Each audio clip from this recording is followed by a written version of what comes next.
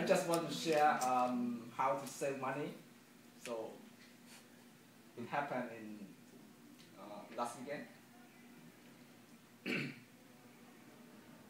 on on early the morning on October um, 30, 2011, I found out my front passenger tire had a, a slow airleak.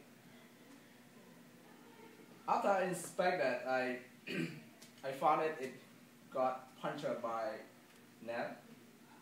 So I went to the dealership and they charged $84. I said, oh, why? Expensive.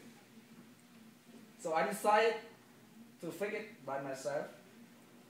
I went to the auto part and bought a small toolkit for tire repair. First,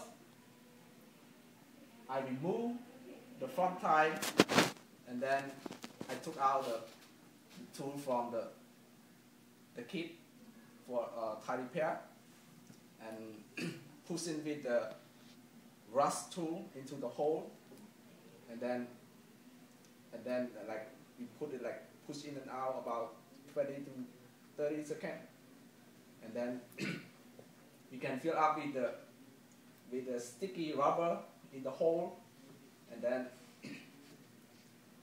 you spray the water on on the hole to make sure that the tire no more air leaks. So I drove to the gas station and I measured the tire to be uh, balanced with both sides. So by doing this, I can save about fifty dollar compared to the eighty-four bucks. Um, so I can treat myself with the with a, a fancy line and can say uh, have some money on, on my pocket.